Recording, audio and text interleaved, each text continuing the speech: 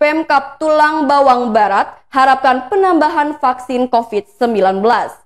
Kabupaten Tulang Bawang Barat membutuhkan tambahan vaksin COVID-19. Wakil Bupati Tubaba Yani Fauzi Hasan mengutarakan, sejauh ini stok vaksin COVID-19 jauh lebih sedikit ketimbang jumlah warga yang akan siap mengikuti vaksin. Karenanya Pemkap Tubaba berharap adanya tambahan vaksin COVID-19. Yang terjadi saat ini banyak sekali masyarakat yang belum kebagian vaksin. Fauzi Hasan pada Jumat 8 Oktober 2021 mengatakan harapannya kepada Pemprov Lampung untuk mendengar kebutuhan masyarakat Tubaba. Fauzi Hasan menjelaskan, sejauh ini masyarakat Tubaba sangat antusias menjalani vaksinasi COVID-19.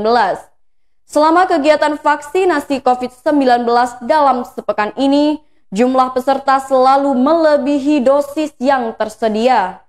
Ditambah lagi dengan keluarnya Perpres nomor 14 tahun 2021 pasal 13A yang mewajibkan masyarakat untuk divaksin.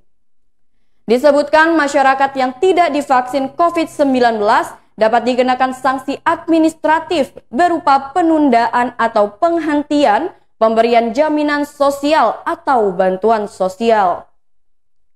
Ada pula sanksi penundaan atau penghentian layanan administrasi pemerintahan.